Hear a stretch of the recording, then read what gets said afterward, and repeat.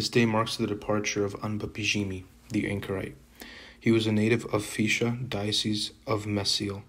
When he was twelve years old, and while he was tending to his father's sheep, the angel of the Lord appeared to him in the form of a young man. The angel told him, Let us go to the wilderness for you to become a monk.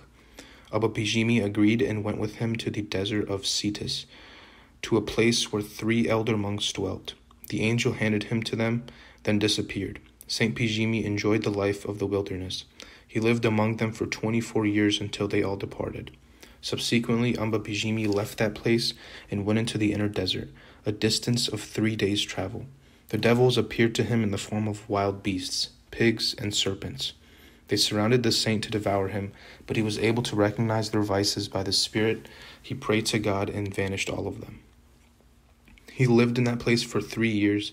He fasted a week at a time, and he ate a handful of dates and drank a little water to, to the point that his skin cleaved to his bones. He reached a high level of spirituality. At the end of the three years, the angel of the Lord appeared to him and commanded him to return to his hometown. Abba Pijimi obeyed and returned back and built outside it a small hut. He dwelt there alone, devoting himself to worshiping and asceticism. He became a good model and a good example to everyone who came to see him. The people of his hometown came to be nourished with his profound spiritual teachings.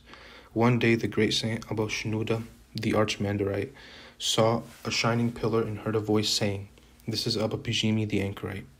Abba Shenouda went to him, and they recognized each other by divine guidance. Abba Shenouda visited him for a few days, then returned to his monastery. When the days of his repose from this world drew near, he called his disciple and informed him of the departure and commanded him to bury his body in the place where he dwelt. He fell ill and he saw a company of saints had come to them. Then he delivered up his pure soul into the hand of the Lord. The angels carried his soul up to the heaven while chanting hymns. The blessing of his prayers be with us amen. On this day also Saint Abtelmaos was martyred. He was native of Dendera, west of Qena.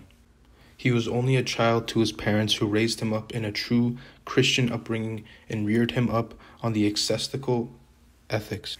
When he became a young man, he met Saint Paphnoti the anchorite in the mountains of his, this area. He advised him to go to Encina to an ascetic father called Dorotheos.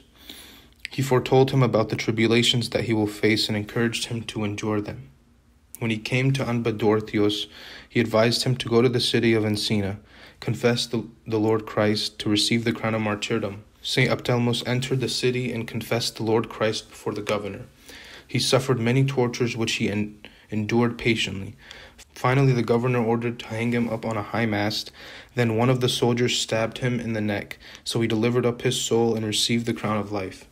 The faithful carried his pure body and buried him with great veneration. When the era of persecution ended, they built a church, relocated his pure body to it, and many signs were manifested from his relics. The blessing of his prayer be with us all. Amen.